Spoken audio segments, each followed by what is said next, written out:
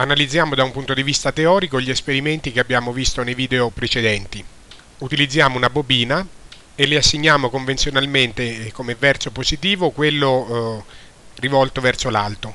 Questo verso convenzionale corrisponde ad immaginare di percorrere eh, gli avvolgimenti, le spire della bobina in questo verso, cioè in verso antiorario se visto da, da sopra. Il primo esperimento è quello in cui viene inserita o estratta una calamita lineare all'interno della bobina.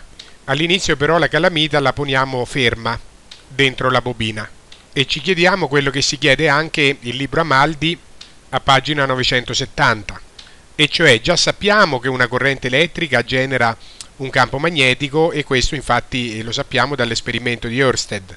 Allora ci chiediamo, eh, non è che per caso vale anche il viceversa? Cioè un campo magnetico può generare una corrente elettrica?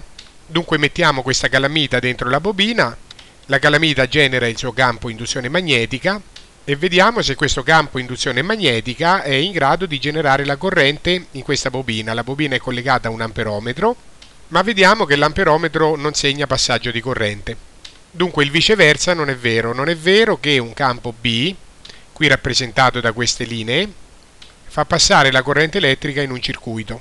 Però la cosa diventa vera se la calamita non, non sta ferma, se viene spinta all'interno della bobina, allora l'amperometro mostra passaggio di corrente e se la calamita viene estratta invece dalla bobina, l'amperometro mostra passaggio di corrente elettrica nel verso opposto.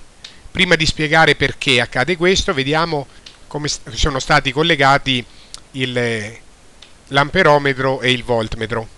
Abbiamo detto che la bobina ha un verso convenzionale che è con la faccia positiva rivolta in alto, quindi questa è l'uscita diciamo positiva convenzionalmente della bobina, il punto C che è collegato all'ingresso dell'amperometro. Il circuito vero e proprio è questo, cioè quello che eh, contiene l'amperometro, bobina e amperometro, questo è il circuito. Il voltmetro l'abbiamo inserito in parallelo in modo tale da misurare non solo la corrente che scorre nella bobina, ma anche la differenza di potenziale ai suoi capi C e D. Infatti vediamo che i morsetti del voltmetro sono collegati con il punto C, l'uscita della bobina, e l'altro con il punto D. In pratica l'amperometro e il voltmetro sono collegati nello stesso identico modo.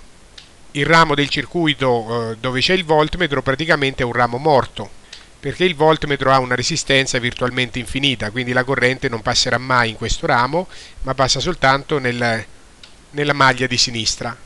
Ora vediamo che succede quando la calamita viene inserita nella bobina. Aumenta il numero delle linee del campo B che attraversano le spire della bobina. Noi sappiamo già che il numero di linee che attraversano un circuito è il flusso del campo induzione magnetica B attraverso quel circuito, cioè in questo caso attraverso la bobina. Dunque se la calamita viene inserita dentro aumenta il numero di queste linee che attraversano il circuito e quindi aumenta il flusso del campo B attraverso la bobina. Allora la bobina reagisce cercando di contrastare questo aumento del flusso del campo magnetico. Siccome sono aumentate le linee che eh, attraversano la bobina dall'alto verso il basso, la bobina cerca, cercherà di creare un suo campo magnetico, campo induzione magnetica indotto, BI, nel verso contrario, cioè verso l'alto, in modo da cercare di ridurre l'aumento del numero di linee che la attraversano in basso. La bobina per generare questo campo B indotto fa scorrere corrente nei suoi avvolgimenti in questo verso, cioè eh, verso destra, così da generare questo campo B indotto verso l'alto la corrente indotta che circola verso destra segue esattamente il verso convenzionale che abbiamo detto all'inizio, verso convenzionale degli avvolgimenti e quindi è una corrente positiva. La corrente quindi scorre in questo circuito in questo modo qua. Si vede anche qui, scorre così la corrente. Il voltmetro a sua volta misura una differenza di, di potenziale tra i punti C e D con il voltaggio nel punto C più alto rispetto al voltaggio nel punto D. Infatti la corrente è spinta proprio da questa differenza di potenziale. C'è un potenziale maggiore in C che spinge la corrente verso D. Come si vede anche da questo disegno, il potenziale è maggiore in C. Questo A non c'entra niente, qui ci doveva stare C. e è minore in D, che dovrebbe stare qua. La bobina quindi si comporta come se fosse un generatore con il polo positivo in alto e il polo negativo in basso che fa scorrere la corrente in senso orario. Quando la calamita invece esce, diminuisce il numero delle linee del campo B che attraversano il circuito, cioè la bobina, cioè diminuisce il flusso del campo B attraverso la bobina. Allora la bobina cerca di ripristinare queste linee del campo B, generando lei un suo campo B indotto, stavolta orientato verso il basso, perché le linee del campo della calamita orientate verso il basso stanno diminuendo, quindi la, la bobina cerca di metterci le sue di linee. Per generare questo campo B indotto verso il basso, la bobina fa girare la corrente verso eh, sinistra ed è una corrente negativa perché va nel verso contrario al verso convenzionale che abbiamo scelto per gli avvolgimenti. Quindi la corrente adesso gira in questo verso, antiorario, come si vede anche qua, e la bobina si comporta come se fosse un generatore con il polo positivo rivolto in basso, quindi con una tensione maggiore nel punto D e minore nel punto C, come infatti indica anche il voltmetro. Il flusso del campo B della calamita attraverso la bobina lo indichiamo con questo simbolo, in cui SL è la superficie totale della bobina e se la bobina per esempio ha 100 spire, la superficie efficace e effettiva che offre al flusso del campo B è l'area di questo cerchio, cioè l'area di ciascuna spira, moltiplicata per 100. SL rappresenta quindi l'area che è racchiusa dalla linea L, la linea L è tutto l'avvolgimento completo della bobina. Quindi tutta l'area racchiusa da tutto l'avvolgimento sono 100 volte l'area del cerchio e si legge flusso del campo B attraverso la superficie di contorno L. Attenzione quindi, una cosa importante è che la bobina non reagisce al campo B della calamita, ma alle variazioni del campo B. Infatti, finché la calamita stava ferma, e generava quindi un flusso costante attraverso la bobina, la bobina non reagiva per niente.